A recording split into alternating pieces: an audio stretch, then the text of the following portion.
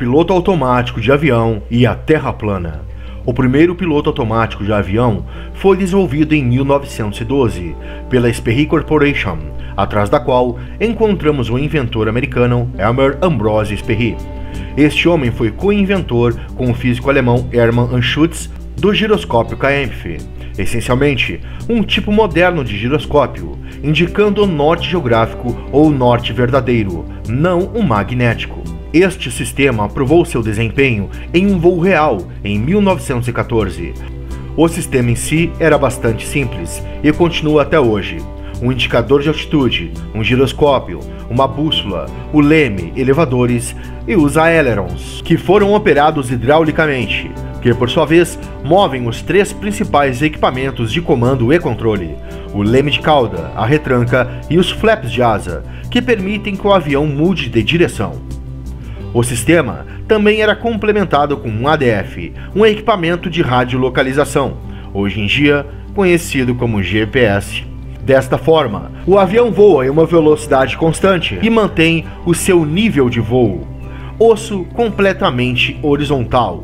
Osso significa o corpo do avião, uma gíria entre os pilotos, sem guinada, sem arremesso e sem rolagem para a esquerda ou para a direita, sem que o piloto tenha que colocar as mãos no joystick. Este sistema nasceu para ajudar o piloto durante a sua missão e libertá-lo de parte do trabalho, que depois de horas causa uma carga significativa e fadiga nos braços, ombros e costas. Como você pode ver, é um sistema simples. O avião voa em linha reta para o seu destino. A menor distância entre dois lugares sempre foi e sempre será uma linha reta, um sistema livre de quaisquer outros objetos. Mas em todas as vezes que o piloto tinha que fazer uma manobra para reagir a um imprevisto ou para alterar o plano de voo, claro, ele vai com as mãos ao joystick. O giroscópio do avião trabalha em conjunto com o horizonte artificial. Mas para que serve o horizonte artificial? É justamente para que o piloto saiba que o avião está nivelado no ar. Se o avião tender a abaixar o seu nariz, o horizonte artificial avisa instantaneamente o piloto para corrigir a aeronave, para evitar que a aeronave se choque com o chão ou com o mar, pelo simples fato que não existe curvatura.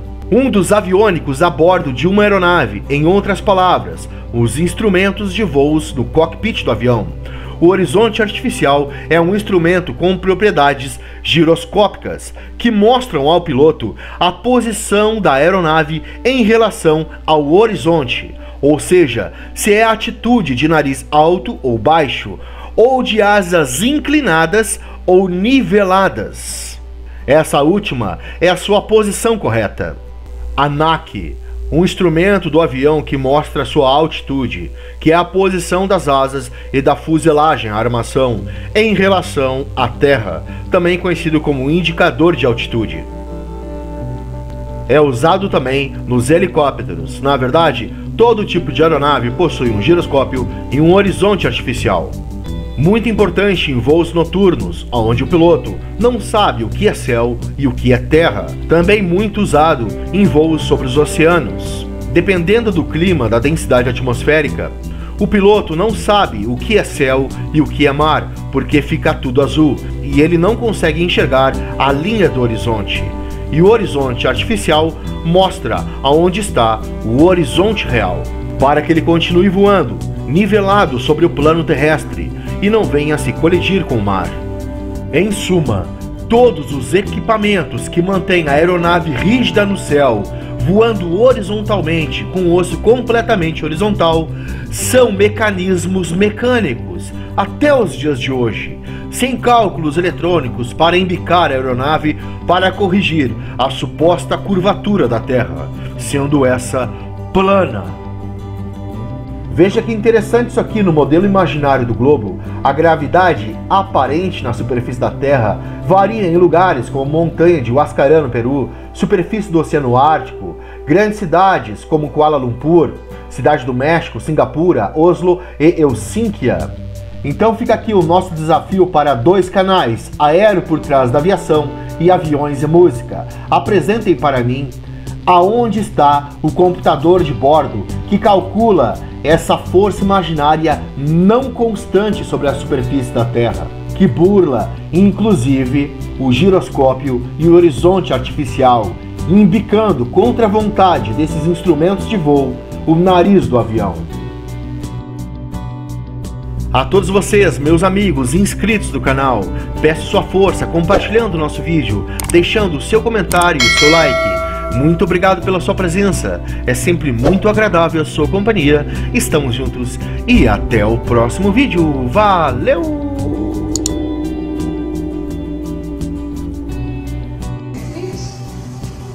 De van dit apparaat is dat het dus een stand in de ruimte bewaart. Nou, nou vlieg ik dus uh, vanaf Nederland, uh, vlieg ik naar Australië. En hier staat, moet even kijken, dan loopt echt op het midden of zo, staat mijn uh, uh, gyroscoop. Mijn kunstmatige horizon staat zo. En dan zet ik hier even BL. BL, blauw. Dan zet ik hier even bruin. Want bruin is de kant van de grond. En blauw is de kant van de lucht. Dit ding behoudt zijn stand in de ruimte. Dus ik vlieg zo. En dan sta ik hier in uh, Australië. En dan is, want dit ding behoudt zijn stand, dus dit blijft blauw en dit blijft bruin. Het is niet zo dat we opeens om omklappen de verkeerde kant op. En dit was voor mij dat ik dacht, oh man. Waarom heb ik het voor het eerder gezien na 25 jaar in de cockpit? Dus um, zo geïndoctrineerd zijn we dus allemaal. Is nog van ons gekomen. Ja, het is toch, het is gewoon, het is ook gewoon heel vervelend. Het is gewoon heel vervelend. Uh, dat je daar al die jaren naar hebt gekeken en dat het kwartje nooit is gevallen. En ook, zeg maar, toen ik eenmaal wist dat de aarde plat is, leg je naar buiten.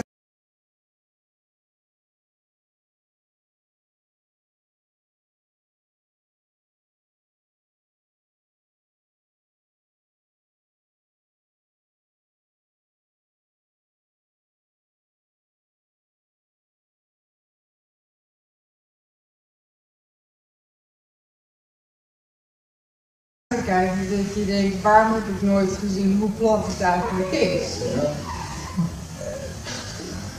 Mindblown nu, maar goed. Ja, dus hiermee, kijk, als ik nu zeg maar land hier met mijn vliegtuig, dan zou opeens blauw beneden staan. Nou, zo kan ik dan vliegen. Ik kan niet mijn vliegtuig landen in het blauw hoor. Dat gaat niet lukken. Dus de, uh, en hier zijn heel veel goede filmpjes over op uh, YouTube trouwens. Um, nou, dat is uiteindelijk een analoog, analoog apparaat. Dit is een mechanisch apparaat. Ja, ik dacht, kijk, als je dat in lagers, uh, met lagers, dan weet je eigenlijk meteen dat het. Uh, dit, ja. ja. Ja. Dus, um, het spijt me, maar ja, ik kan niks anders van maken. Maar dit is voor mij. Uh,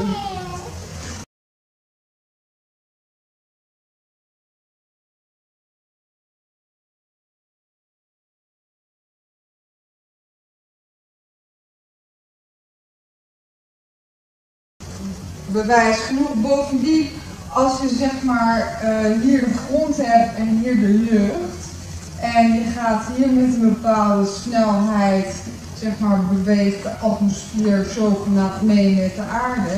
Dan zou die hier dus sneller moeten gaan. Anders heb je hier, uh, ja, moet wel mee gaan draaien. Dus het, het, het zou niet vanaf 10 kilometer hoger de ground speed moeten kunnen meten. Nou, Mag ik daar nog wat over? Er zou een gradient moeten zijn. En, en dat is er gewoon. Dus dat komt de praten over. Uh, filmpjes op, eh, op YouTube die dat laten zien. Aan de andere kant, het is ook bekend dat die gyroscoop juist zichzelf de hele tijd opricht.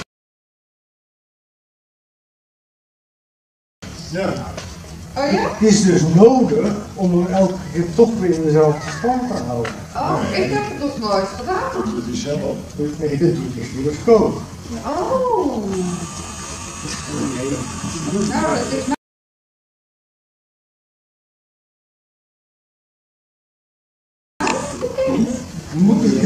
opzoeken, pendulous Venus. Ja, Met, ja, met een lucht in. Ja, Ja, ja, de richting is ook in. Dat is voor de Die correctie is nodig. Ja, voor als wij Anders zou je inderdaad dit krijgen. als we versnellen tijdens het. Ja. Maar eh, dat heeft helemaal niets te maken met, ehm, met de gravity. Want dat zou betekenen dat als ik in een holding hang en de hele tijd een, eh, een eh, nou ja, en passagiersvliegtuigen doen wat fysiek comfortabeler. Zodra je 60 graden bocht aan, aandraait, heb je twee keer de zwaartekracht. Zo voelt dat dan, hè?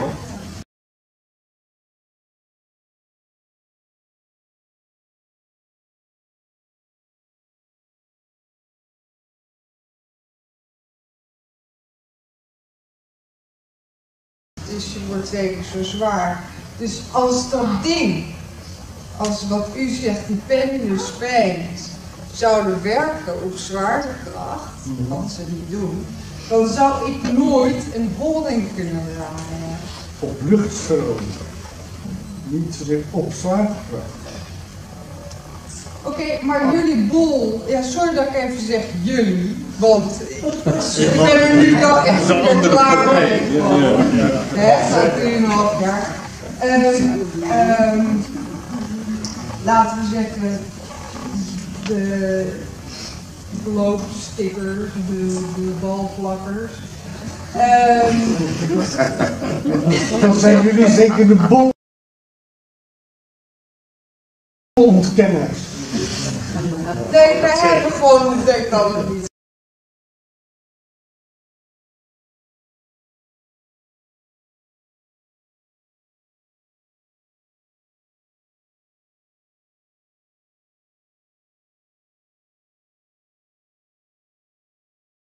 zo is. Dus heeft niks met ontkennen te maken. Het is gewoon.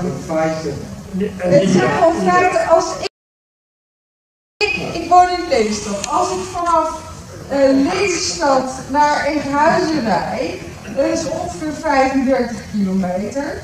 Ik kan verdomme gewoon de overkant zien. Dat had 80 meter.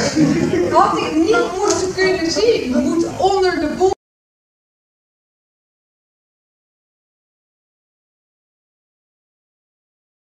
Zijn. Dus er is geen curve, dus er is geen... Er is geen curve. Even, je kunt...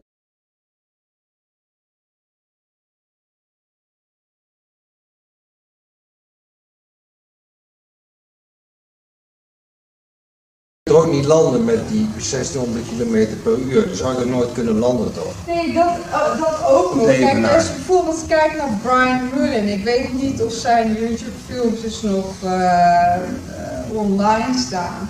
Maar hij is echt geniaal met al die die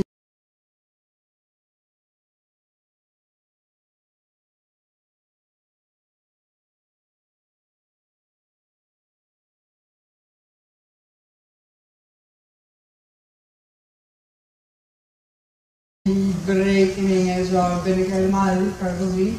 Maar dat maakt niet uit, dit is mijn uh, verhaal. Um, Brian Mullen legt heel goed uit, zeg maar, dus als je een bepaalde snelheid hebt waarmee je dan zeg maar, de lucht ingaat, en uh, stel dat dat op de evenaar is, hoe raak jij die 1600 km per uur kwijt die in jouw vliegtuig zit?